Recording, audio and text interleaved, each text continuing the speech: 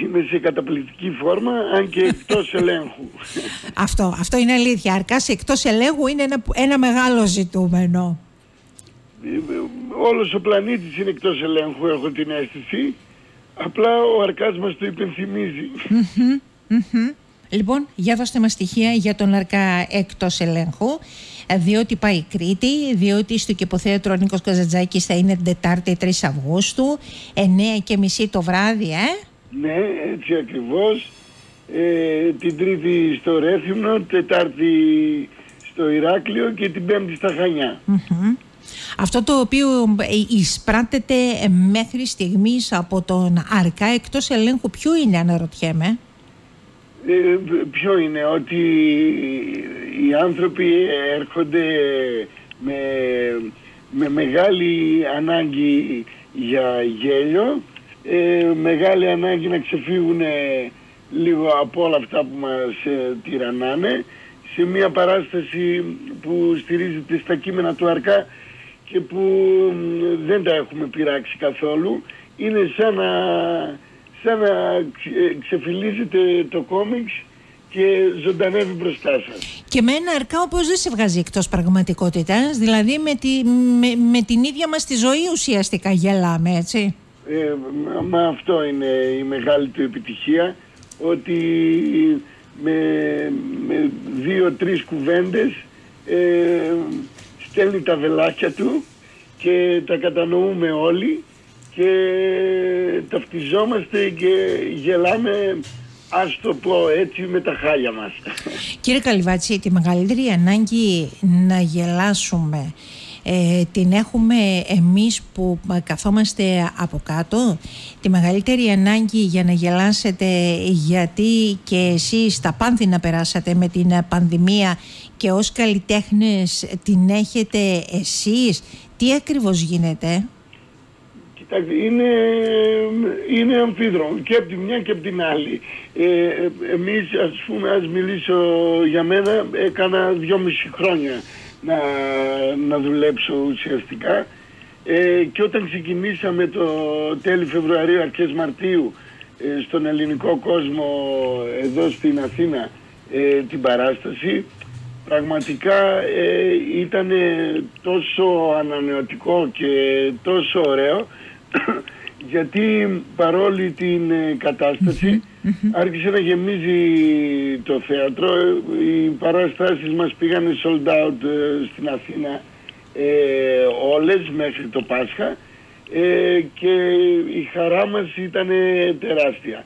Η διαπίστωση δε ότι και ο κόσμος που έρχεται περνάει τόσο, τόσο καλά ε, ήταν το κερασάκι στην τούρτα. Και έτσι συνεχίσαμε και το καλοκαίρι και πάμε περίφημα με τόση ανάγκη που υπάρχει και από τη μία και από την άλλη ε, πλευρά λίγο να τονωθούμε περισσότερο μετά από αυτά τα οποία έχουμε περάσει και αυτά τα οποία περνάμε με, κύριε Καλυβάτση γιατί δεν ήταν μόνο η πανδημία γιατί μέσα από την πανδημία απλά διωγγωθήκανε πολύ περισσότερο τα οικονομικά προβλήματα κάθε οικογένειας με μια άλλη ενεργειακή κρίση, με την ακρίβεια, με τον πληθωρισμό. Ναι είναι μεγάλη αλήθεια αυτό που σας ρώτησα στην αρχή και απαντήσατε ότι ο κόσμος έχει ανάγκη λίγο να εκτονωθεί και το αυτό που είπατε εσείς αρκάς εκτός ελέγχου αλλά παγκόσμια επίσης μια άλλη πολύ μεγάλη αλήθεια.